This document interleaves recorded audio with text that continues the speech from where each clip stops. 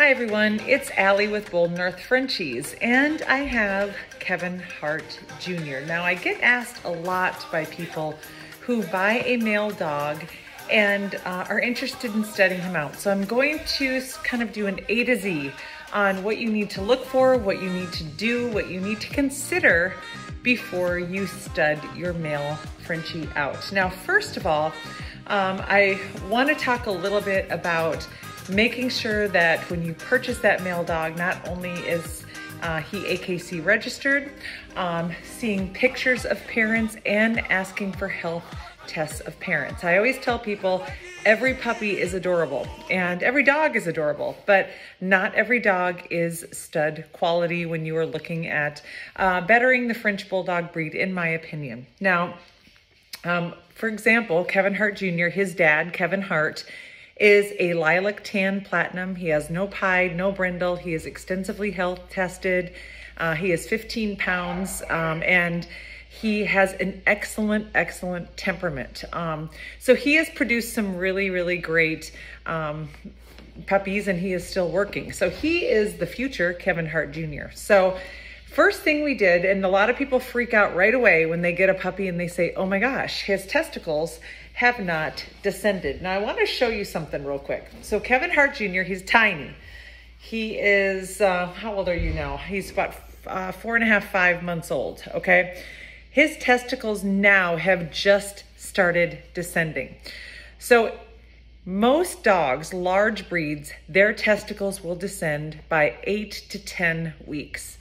When we're talking about smaller dogs, and especially French bulldogs, some of them, their testicles will not start descending until they are 16 weeks or maybe even a little bit older. If you get to six months and both testicles have not descended, then there may be an issue. Um, there is a condition where only one testicle um, descends, and that probably would uh, count that dog out as a stud dog. He still could produce puppies, but as far as um, having that dog as a stud dog, I would not. Here's a couple things that your vet can do. A, make sure you're going to a reproductive vet, okay? Make sure you're going to a vet that works with breeders. B, have them ultrasound and see where that testicle is. And in many cases, they can massage that second testicle down so both are descended. So take that into consideration. Don't freak out right away if that puppy is eight to 10 weeks old and both testicles are not have not dropped. That is very common with the French Bulldog breeds, especially like a little small guy like Kevin Hart Jr. Um, as you can see, he's even super tiny for his age. Um, and it took a while for both testicles to drop. And let me tell you, they have, and the little boy is humping everything. so the other thing that we have done with KJ, Junie, is we have health tested him. We health tested him through animal genetics. Um, you also uh, um, will want to DNA test them. Um, you want to, when you're studding them out, people will say, What does he carry? Can I see his DNA report? And Animal Genetics does that as well. So you can go on animalgenetics.us, you can order swabs, and you can order a color DNA test as well as a disorder panel, which is a health test. And make sure you are doing that, okay? The other thing that you are going to want to do is make sure that this that your boy uh, temperament wise is stud quality. Uh, I'm a big believer that temperaments and personalities are, are not only created in the environment, but they are also passed down. And so if you have a dog that maybe is just um, constantly aggressive, even though you work with them and stuff, it may not be the best dog for breeding. Um, you know, his dad, Kevin Hart Jr.'s dad, has the chillest, the best temperament. And I knew that uh, KJ would have the same, and he really does. He's just uh, loves everybody. And I'm really uh, optimistic that he's going to be a really great stud dog.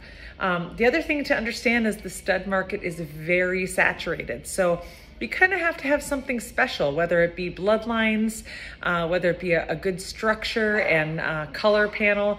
I think you kind of need it all in order to be competitive in this stud market. So, for example, Kevin Hart Jr. is going to have a very good structure. Um, his dad and mom both have excellent uh, compact structures. They have a really nice tail nub, as you can see, uh, perfect in my opinion. Um, and uh, they have an excellent DNA panel. So he is a quad carrier. He can create a rainbow of puppies um, and really is just brings a lot to the table for uh, color DNA as well. He passed his health test with flying colors too.